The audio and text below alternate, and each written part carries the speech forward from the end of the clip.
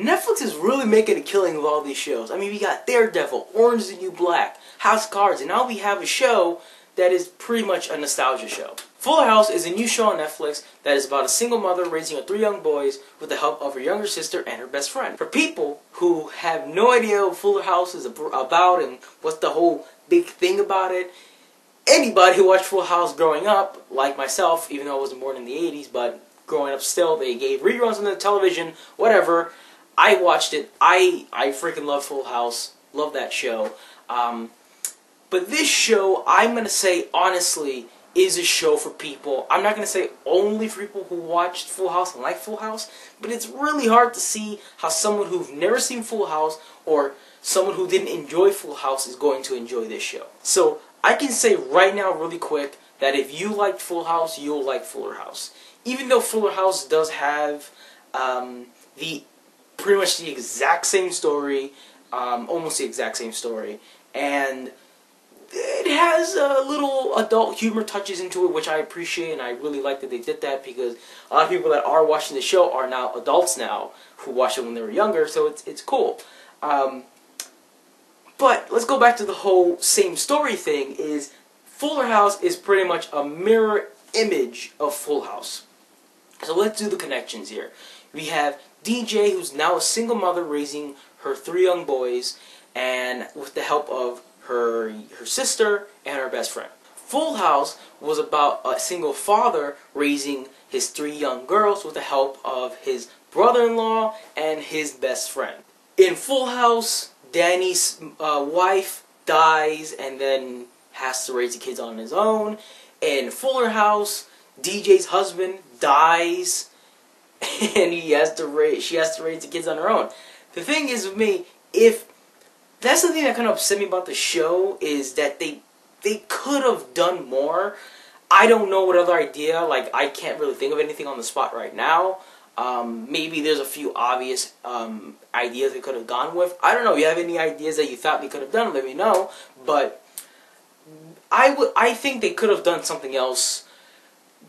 But I. I it, it, it, it just kind of bothered me a little bit that they went with the exact same story pretty much the same thing just different situations and kind of reversing the roles. It, it, it, the only difference really is it's instead of it's the men raising the girls, is the women raising the boys, and you know that, that it, it kind of sucks that they went with the exact same story for that. But looking past that, it's really not that bad of a show. Um, there are a handful, well, actually a lot more than a handful of cringeworthy moments, but it's a family show. You know, you, that's a given most of the time when you have a family show. You're going to have these cringe-worthy moments. And with me, is liking Full House is kind of out of my league for me because I've never really been a whole like I like family shows and sitcoms and stuff. There's only been a few old sitcoms that I really liked. I liked Friends, I liked Seinfeld, uh, and probably a few others I can't name right now. Uh, and Full House was, you know, it was so and so, but I enjoyed Full House as a show, but Fuller House, it does have the cringeworthy moments, but then again, it is a family show.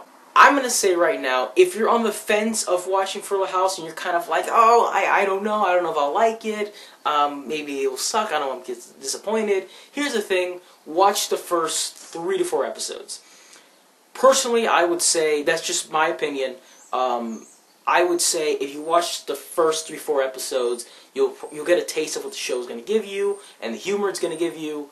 Um, so give it a chance. I would say. I would definitely say give it a chance. Um, it's definitely good to give a show a chance. If you, if you have a half and half kind of thing on your mind and you think you might like it, but you think you might not like it, just give it a chance. Why the hell not? If you think you're not gonna like it at all, then don't mess with it. Don't bother with it because if you didn't like Full House, you're probably not gonna like this show. But if you love Full House, then you probably already you're probably already watching Fuller House. Honestly, um, my sister she saw the whole the whole season, the whole first season, and she thought it was okay. Um, there were moments she told me that she said were really funny. Other parts that were kind of like eh. But that's with any show really. A lot of shows have really good moments and really moments that that lack. Um, but in all, it's an okay show. I haven't seen the, whole first season yet. I'm honestly probably not going to finish watching it because it's not my kind of thing. Even though I really liked Full House, there were just moments in it that I, I it didn't. They tried to do very similar things, and it just didn't hit me. It didn't hit me the second time. Honestly, that that's the best way to say it. Uh, I got to episode six or seven. I lost count, honestly.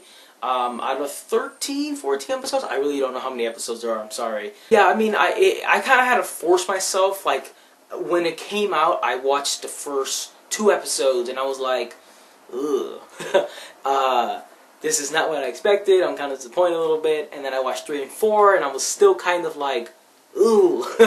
Honestly, I really was. Um, but yeah, there were moments where I, I laughed a little bit.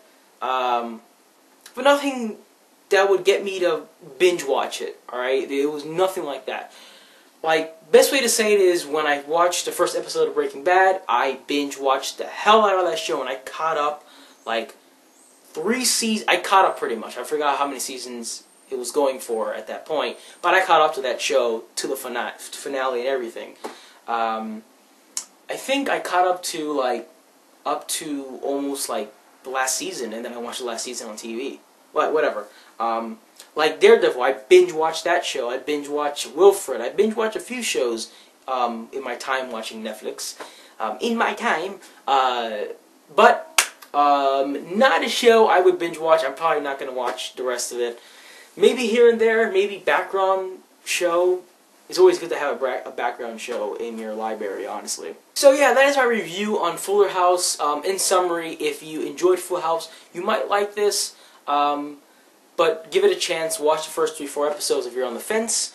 Um, yeah, just give it a chance. Uh, if you never like that kind of humor, you don't like sitcom humor, you don't like family kind of sitcoms and shows, then you're probably not gonna like it. So that is my review on Fuller House. So thank you so much for watching my video. If you enjoyed it, give it a thumbs up. If you want to see more reviews and other random videos that I have going on in my channel, hit the subscribe button. I almost forgot how to say subscribe. That's why I paused for a second.